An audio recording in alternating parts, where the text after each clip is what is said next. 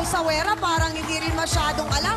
Sinisigaw nila ang mga sagot, ha? Oo, hindi masyadong halatang hilig nyo rin ang paglaro ng tong its, ha? O balikan lang natin si Damian. Alam mo na pala, hindi lang isa o dalawang beses kang dinaya. Kaya nga pina... Bakit pinagtsatsagaan mo pa rin siya Sinaway ko na siya noon. Siya pa yung mismo talagang galit na galit sa akin. Sabi ko, sinasaway lang kita.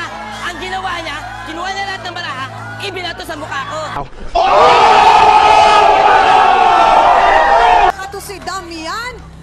Ay. Siya ang nagbato sa mukha ko ng baraha. Okay, Di huwag mo ko awayin. Huwag ko- nangyari sa akin, pinulot ko rin ng baraha. Ibinato ko rin sa mukha niya.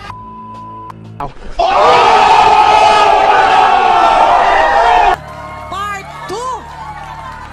Sandali lang, Hans. Ano bang sabi ng mga sausawero at sausawera? Mami, ikaw, kanina ka pa nagre-react dyan. May gusto kang sabihin. Oh, bakit? Hello, Totoy, bakit ikaw nagtatyaga isa kang taong maganda sa kapwa mo? Alam mo kung ano ginagawa niya sa akin? Oh, Damian, Damian, sandali.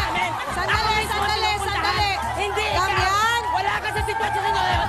Kaya hindi mo na Sandali, video. Damian, huwag naman masyadong mainit. Sandali lang. Nagkakaroon tayo Ang ng punto dito, ako ang nandaya, hindi ako ang nandaya. Hinay-hinay lang, Damian. Relax lang. Kasi baka atakihin ka sa puso, kalmado lang. Mga kapatid, narito po yung inirereklamong mandaraya daw sa Tong Eats. Eto na, ang kalaro niya na dinadaya daw siya pero ilang ulit pa rin silang naglalaro. Pasok, Pia!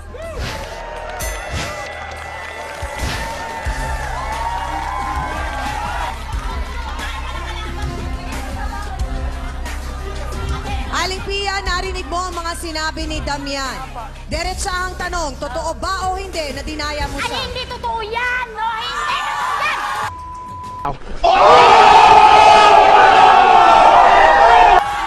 Yan, hindi totoo yan.